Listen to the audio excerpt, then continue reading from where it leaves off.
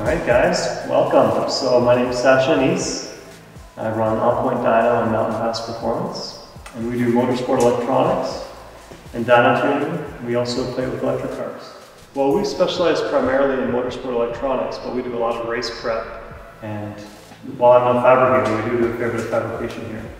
Um, so this car particularly uh, has a lot of custom work done to it. We've also got uh, Lotus Evora uh, electric car that we've done complete electric conversion to with a Tesla motor. I started racing in 2006. This car here uh, used to run a Pony Challenge, that was an endurance racing series since 2008. And the car has since kind of changed and transformed more into being uh, a time attack car. I've also driven professionally a little bit here and there in um, Continental Tire Sports Car Challenge, which is an endurance racing series, uh, and World Challenge as well. So, well, listen, we've been using Vibrant stuff since like 2008. Uh, in fact, the exhaust on this vehicle is from 2008. It's here now, and it's never failed us. So the main reason we use Vibrant is because we've never had an issue with it. Uh, the second reason is because, especially for the aluminum components, they, they're super nice to weld with. The exhaust system on this car was almost glowing red hot for three hours, minus pit stops. You know, the engine is run at full throttle. You know, you're doing qualifying level laps, lap after lap after lap. This car has had a long history, and the, over the last couple of years, we've been making some upgrades to it. It's recently got a sequential gearbox, uh, ITBs that we developed, and now we're taking it to kind of the next iteration again. The next big upgrade is happening over this winter. So we're, we're moving to a flat floor and a diffuser, so it'll be a you know proper GT car with real GT aero. Uh, it's getting a new engine, so the old engine was actually quite stock. It just had pistons and cams effectively. This new engine is going to be uh, arguably the most advanced VQ in the world. Uh, it's going to have a you know, Bryant crankshaft, which is going to raise the displacement to 4.2 liters. It's going to have a compression well over 13 to 1. The pistons are only going to have two rings instead of three to reduce friction. Um, the heads are ported.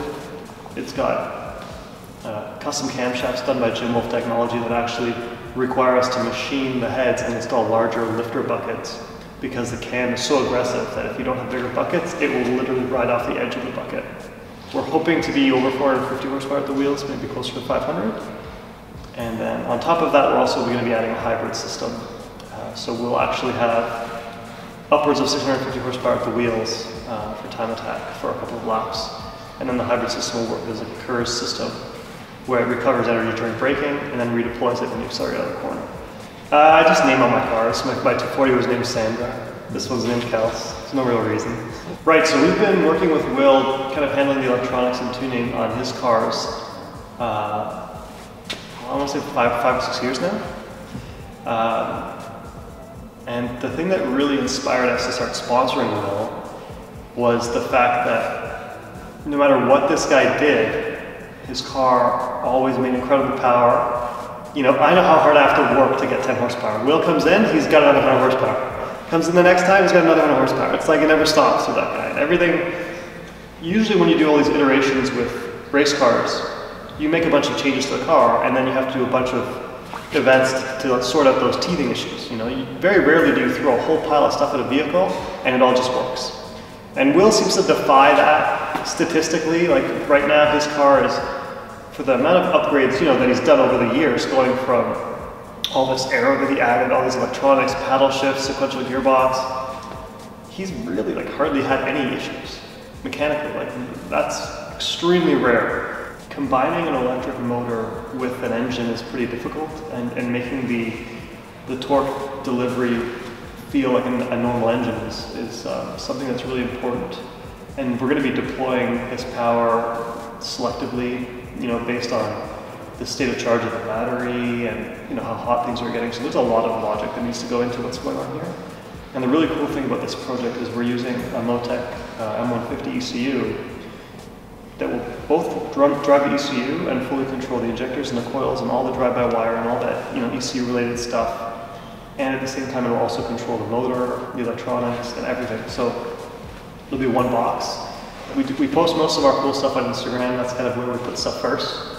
Um, if you're interested, have a look through our website. We've got a lot of good content on there. We've got a lot of good tech articles about how to prepare your car for dyno tuning, to prepare your car for it to be reliable. You know, even if you're not local to us, everyone should kind of have a read through some of these articles because they'll make your, your time with cars more enjoyable. Less mechanical issues is more, more fun with your car. So have a read through there and shoot us an email if there's anything we can do to help you.